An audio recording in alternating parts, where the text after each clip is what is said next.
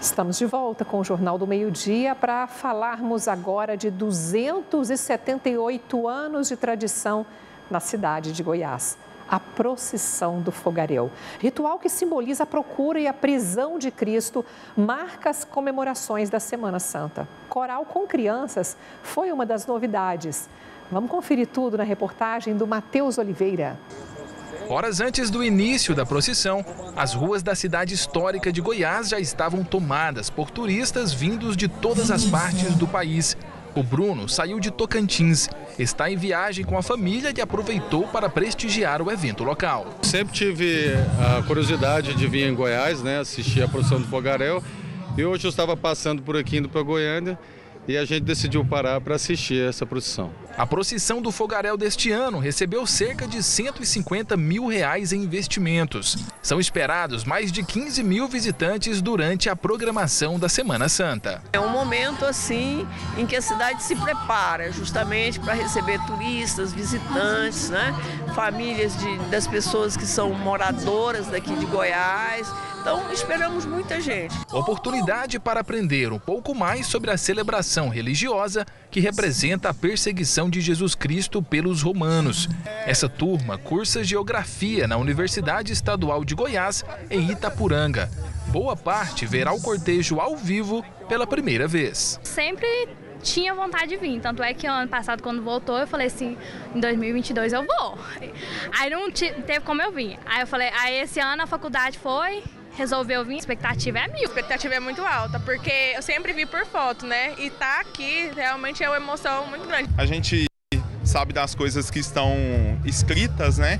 Mas agora ver na prática todo esse evento, a cultura que isso agrega para os alunos, né, que não tem muitas vezes é, disponibilidade ou transporte para poder vir num evento cultural desse. É muito importante a vinda deles. Com olhares atentos, o público observa a encenação do julgamento de Jesus. Segundo a Bíblia, foi o governador romano Pôncio Pilatos que condenou Cristo. Querem a sua vida?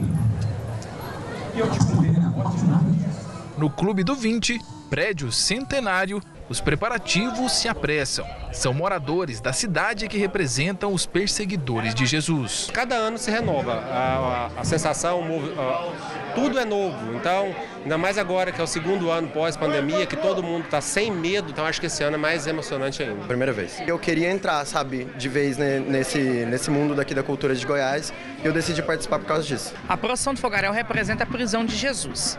Ela é a busca e a prisão de Jesus lá no Monte das Oliveiras. Na cidade de Goiás, nós temos um cenário muito belo que contrasta com o casario, a, o rio vermelho, a lua, deixando toda essa, toda essa encenação com uma beleza singular. Neste ano, uma novidade.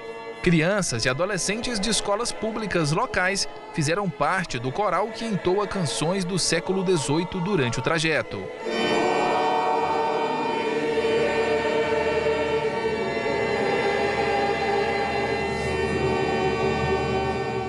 Estão dentro deste processo, mas extremamente focados, entendendo o que eles estão fazendo e o papel que eles estão exercendo. Eles estão reescrevendo a história. Já é quase meia-noite. As luzes da cidade se apagam. As tochas são acesas e o som dos tambores anuncia o início da procissão. Há quase 300 anos, 40 homens vestidos com fantasias coloridas encarnam os soldados romanos que perseguiram e prenderam Jesus. Com tochas nas mãos, eles caminham descalços pelas ruas do centro histórico. A caminhada começa na Igreja da Boa Morte, passando pelas ruas e becos da cidade até chegar à Igreja do Rosário, que representa o local da última ceia. O governador Ronaldo Caiado empunhou uma das tochas e caminhou à frente dos farricocos em parte do percurso. As batidas de tambor ficam mais aceleradas e sinalizam um ponto alto da procissão do fogaréu.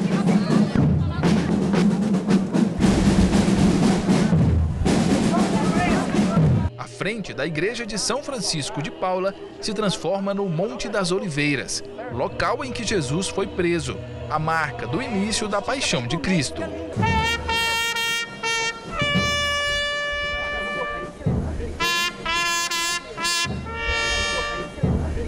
Ao toque do clarim, a encenação, que teve início em 1745, chega ao fim com um dos farricocos trazendo a imagem de Jesus pintada em um estandarte.